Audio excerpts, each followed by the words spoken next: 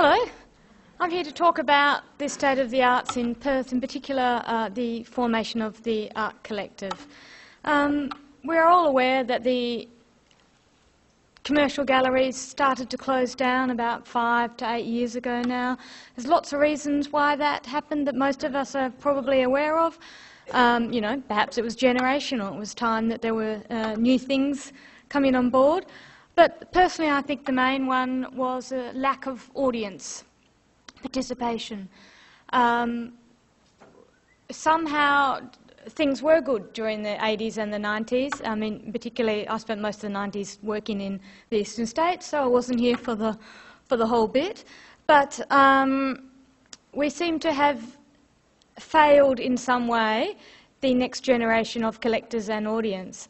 Um, I don't know why, we were busy obviously still putting on exciting things, the artists were still producing fantastic artworks, but we didn't generate a new continuing interest. Um, so after the commercial galleries had started to close down, we started to ask questions about what we can do to support the local artists to continue in their practice. Um, and at the same time, uh, the Mostensons, uh, the patrons of the Art Collective, were looking at ways that they could um, take advantage of their beautiful custom-built building in the middle of Subiaco and to again help the um, promotion of the local art scene. So we decided to start a new model, a hybrid, a cross between a artists-run collective, but this time for mid-career and established artists a uh, cross between a commercial gallery. So there would be some income being generated for these artists that are participating, and a contemporary art space, so that we wouldn't be constrained by the fact that we had to sell work all the time to make a living, so perhaps we could do things that we know that are not necessarily cost effective, which obviously a lot of arts activity is not. Um, a group of artists got together and formed the collective. It is a membership organisation. It is run by a board of artist members. Um, they have employed me to run the collective for them, as uh, many of the artists realise that um, you know their job is to produce the best artwork they possibly can, and they need to be in their studios to do that.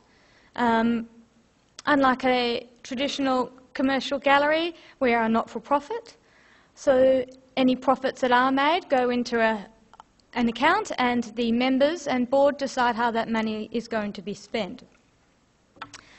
Um, in particular, we realised that senior and established and mid-career artists were the ones that didn't have that many opportunities in the new scheme of things. Um, there are a lot of awards, a lot of interest, a lot of support for emerging artists, and for younger artists, but there wasn't for many of um, mid and senior artists who perhaps had been producing work for the last 20 years and suddenly had nowhere to show it. Um,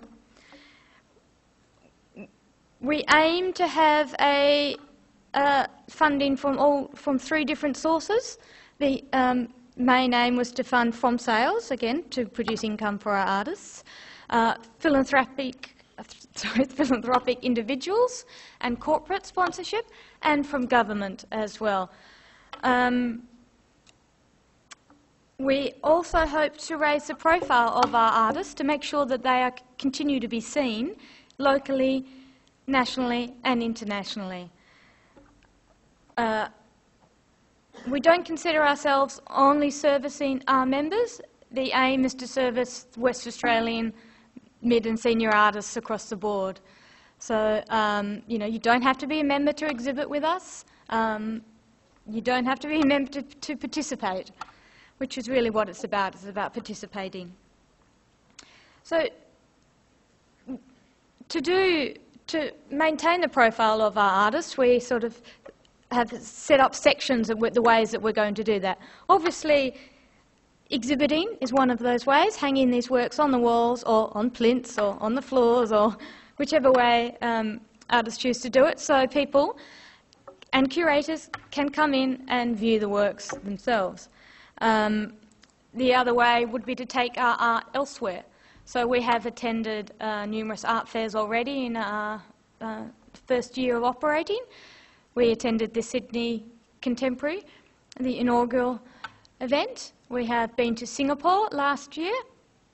Uh, actually, it was earlier this year. And we recently came back from the Melbourne Art Fair as well. Um, the last two fairs, our policy has been to show one or two artists at those events as opposed to a group of artists. Um, we hope our artists are poached or collected or picked up by as many galleries and curators and arts writers from those organisations. And so putting on single shows can show a more uh, you know, coherent story uh, for a individual artist. We want to do publications. We think that there has been a lack of history being uh, kept in Western Australia on our local artists. There hasn't been a lot of books. There hasn't a lot of been a lot of art writing. There hasn't been a lot of um, writing in text that are, um, you know, um, produced in Sydney and Melbourne. You know, Art and Australia, Art Collector magazine. We don't get a lot of representation, and with the closure of some of the senior commercial galleries here, all that information has been lost. There were, you know, they were the ones who were keeping the records. They had the files, they had the CVs, they had the um, photos of installation shots of, um, you know, career, uh, artists' entire careers. And again, that information, you know, has been lost to the public to a certain extent. There are obviously institutions um, whose job it is to maintain their own files and their, and their own records. But we would like to produce publications.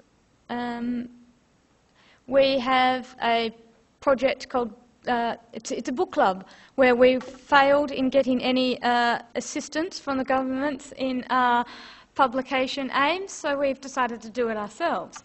So individuals and corporate have um, sponsored um, so far we have about half as much as we need to produce an artist monograph on Trevor Vickers, the first one. We hope to do it on an artist every year, but again it depends on the support that we manage to achieve.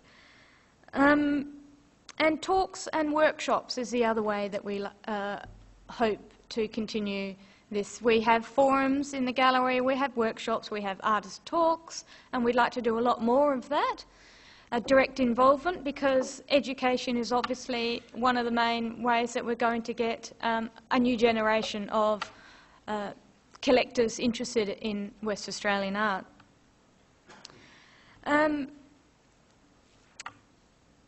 I think the change in nature of the commercial art scene has meant that new things have to happen, that we all have to change the way that we operate. Um, this is a, a, new model, a hybrid, um, and in our first year, we have had quite a lot of success in some areas, but again, in um, other areas, we haven't. We have been supported uh, by the institutions and the corporates uh, locally, uh, very much so. We have um, gained support from people like Sydney Contemporary, who themselves approached the Australia Council so that we could attend. Um, we need to consider new ways of operating on marketing. So new media marketing is something that the collective is um, currently uh, concentrating on. Um, globally, I've heard uh, anecdotally from people over from galleries working over east that 80% of their sales and interest comes from their websites and from emails. Traditionally, we've been, you know, uh, hoping that people come into the gallery and look at the work on the walls. But you know, we really need to do a lot more work of actually getting those people in in the first place. And it sounds like the um, internet and the is is the way forward, especially for uh, artists living and working in West Australia, which is a remote community, uh, according to the rest of the world. Um, I think what was interesting about some of the uh, talks that I heard earlier was that they were talking about artists not being visible in the eastern states. Um, I think for me, my concern is the artists not being visible in Perth. Um, we have senior artists like Trevor. There's no doubt that everyone, uh, anyone who knows anything about art history acknowledges his importance um, in the history of Australian art, in particular abstract painting. Now, Trevor has great support uh, from the eastern states. His market for um, curatorial shows, for inclusion in publications, and for sales is bigger over east than it is in Perth. So I really think that we need to concentrate on what is going on here first before we, you know, concentrate on what we're going to do about the rest of the world. I think if we just continue to put good art on, on display, um, we write about it, we provide the information about it, then at some point someone is going to notice. Thanks.